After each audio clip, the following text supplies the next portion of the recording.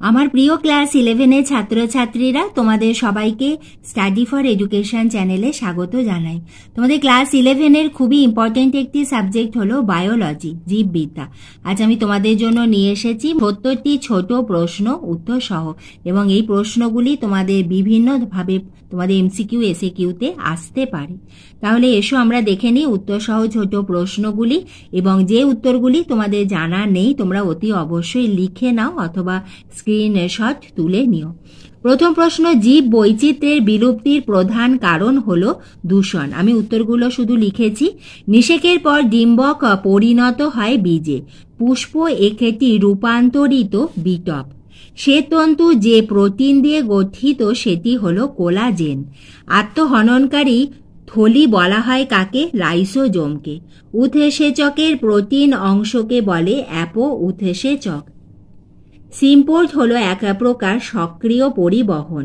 নাইট্রাইটকে নাইট্রেটে পরিণত করে নাইট্রোব্যাক্টর নয় প্রশ্ন, ফ্যাটের আর কিউ এর মান হল জিরো পয়েন্ট সেভেন শূন্য দশমিক সাত। দশের প্রশ্ন, অক্সিনের রাসায়নিক নাম indole acetic acid I A A পরবর্তী প্রশ্ন, লিপিড থেকে গ্লুকোজ হওয়ার প্রক্রিয়াকে বলে গ্লুকোনিওজেনেসিস। ফুসফুসের মোট বায়ু ধারণ ক্ষমতা পাঁচ হাজার পাঁচশো থেকে ছ হাজার মিলিলিটার। দ্বিপথ নামকরণে ব্যবহৃত হয় গণ ও প্রজাতি। এটা খুবই ইম্পর্টেন্ট প্রশ্ন। উদ্ভিদের গৌণ বৃদ্ধির জন্য দায়ী কলাটি হল ক্যাম্বিয়াম। একটি এককোষী গ্রন্থির উদাহরণ হল গপলেট কোষ। মাইক্রো ও ট্রেস এলিমেন্ট নয়, কোনটি নয় সেটি হলো ক্যালসিয়াম এখানে চারটি অপশন ছিল। আমি শুধু তোমাদের সঠিক উত্তরটি লিখেছি। ইহা কিন্তু মাইক্রো বা ট্রেস এলিমেন্ট নয়। এই যে নয় দিয়েও কিন্তু আমাদের অনেক প্রশ্ন থাকে, সেজন্য খুব ভালোভাবে দেখে উত্তর লিখবে। পরবর্তী প্রশ্ন আরশোলার লালা গ্রন্থির সংখ্যা কত? এক জোড়া, অর্থাৎ দুটি। যে অঙ্গাণুটি প্রোক্যারিওটিক এবং ইউক্যারিওটিক উভয় কোষেই দেখা যায়, তা হল রাইবোজোম। মিওসিসের দুটি বিভাজনের মধ্যবর্তী পর্যায়কে বলে ইন্টারকাইনেসিস।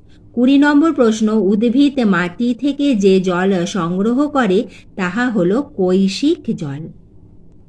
একুশে প্রশ্ন পিএসএইচ রঞ্জক তন্ত্রে সক্রিয়, ক্লোরোফিল হল পি সিক্স এইটটি এক্ষেত্রে কেলভিন চক্রে কত অণু পিজিএলডি উৎপন্ন হয়?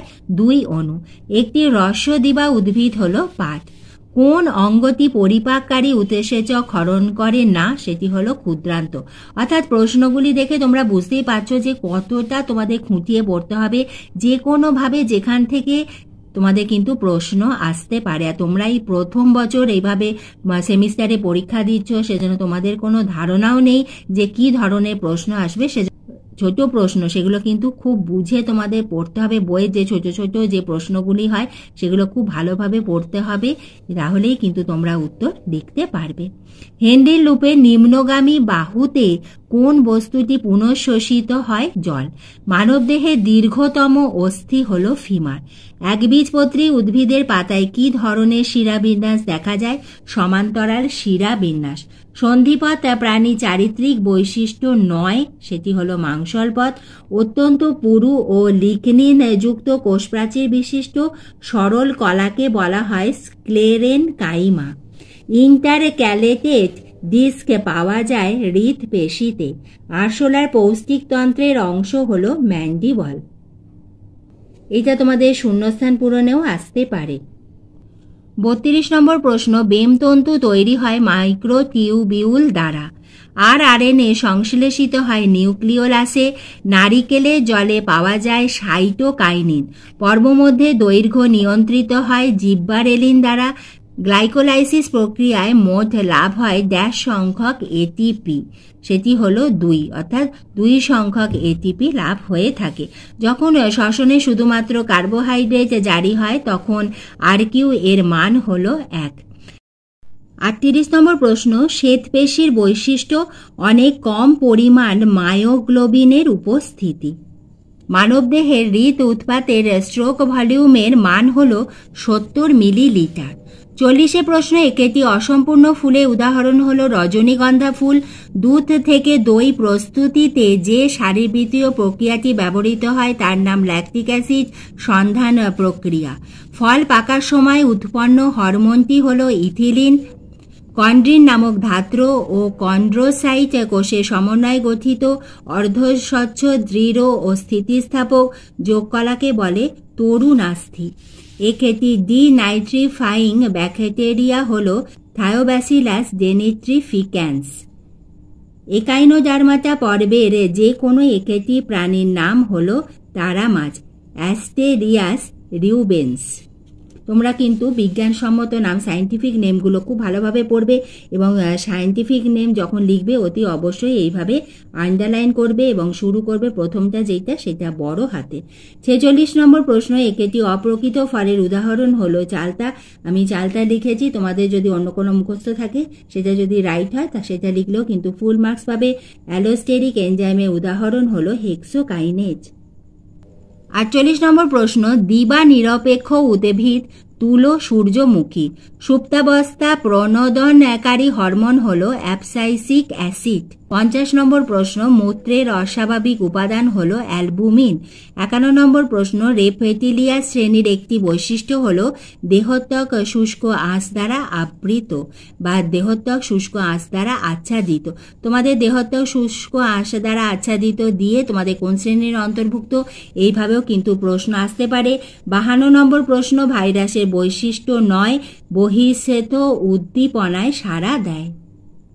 অর্থাৎ ভাইরাস কিন্তু বহিস্থ উদ্দীপনায় সাড়া দেয় না। তিপ্পান্ন নম্বর প্রশ্ন, অবিদারী ফলের উদাহরণ হল একিন কোন ধরনের প্রাণীকলায় রক্তবাহ থাকে না আবরণী কলা? অগ্রমুকুলের প্রকটতার জন্য দায়ী হরমোনটি হল অক্সিন একটি পেশাগত ফুসফুসের রোগ হল সিলিকোসিস। সাতান্ন নম্বর প্রশ্ন, অক্সিজেনের অনুপস্থিতিতে গ্লাইকোলাইসিস প্রক্রিয়ায় নিট কত অণু এটিপি উৎপন্ন হয়? দুই অণু। আর কিউ এর মান যখন একের কম হয়, তখন ফ্যাট জারিত হয়। আমি শুধু তোমাদের উত্তরগুলো লিখেছি, এগুলো থেকেই কিন্তু তোমাদের বিভিন্ন ধরনের প্রশ্ন আসবে।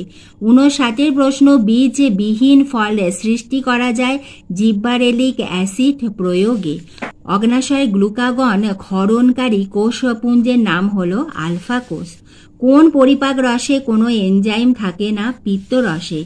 ছত্রাকের অঙ্গজ দেহ বা মাইসেলিয়াম গঠনকারী সূত্রাকার অংশকে বলে অনুসূত্র বা হাইফা। তেষট্টি নম্বর প্রশ্ন, আম গাছের বিজ্ঞানসম্মত নাম ম্যাগনিফেরা ইন্ডিকা। অর্থনৈতিকভাবে গুরুত্বপূর্ণ ব্রায়োফাইটের উদাহরণ হল স্ফ্যাকনাম এটি পিঠ মৃত্তিকা গঠন করে। পঁয়ষট্টি নম্বর প্রশ্ন, একটি মোলাস্কা পর্বের প্রাণী আপেল শামুক, পিলা গ্লোবোসা। তোমরা কিন্তু বিজ্ঞানসম্মত নামগুলো অতি অবশ্যই মুখস্থ করো এবং অতি অবশ্যই এইভাবে আন্ডারলাইন দেবে। ছেষট্টি নম্বর প্রশ্ন, ট্রাইজেমিনাল স্নায়ুর একটি কাজ লেখো অশ্রুগ্রন্থি ঊর্ধ্বনেত্রপল্লব, মুখ ও মুখমণ্ডলের বিভিন্ন সংবেদনে সাহায্য করে। সাতষট্টি নম্বর প্রশ্ন, রক্তে কীটনবজির পরিমাণ বৃদ্ধিকে বলে কিটোসিস। আটষট্টি প্রশ্ন প্রো এনজাইম যা উৎসেচক ধর্মী কোনো সক্রিয়তা দেখায় না, তাদের বলে জাইমোজেন। ঊনসত্তরের প্রশ্ন, কোলাজেন প্রোটিনকে কিসে পরিণত করে? পেপটোনে এবং সত্তরের প্রশ্ন, যে বিজ্ঞানসম্মত পদ্ধতিতে মাটি ছাড়াই পুষ্টি পদার্থযুক্ত জলীয় দ্রবণে উদ্ভিদের বৃদ্ধি ঘটানো হয় বা চাষ করা হয়, তাকে বলা হয় হাইড্রোপনিক্স। আজ আমি তোমাদের ক্লাস ইলেভেনের খুবই ইম্পর্টেন্ট সত্তরটি ছোট প্রশ্ন উত্তর সহ আলোচনা করে দিলাম তোমাদের বায়োলজিতে এইভাবে আমি তোমাদের ভিডিও দিতেই থাকব। তোমরা লক্ষ্য রেখো। ভিডিওটি ভালো লাগলে একটা লাইক করে দিও, বন্ধুদের শেয়ার করে দিও।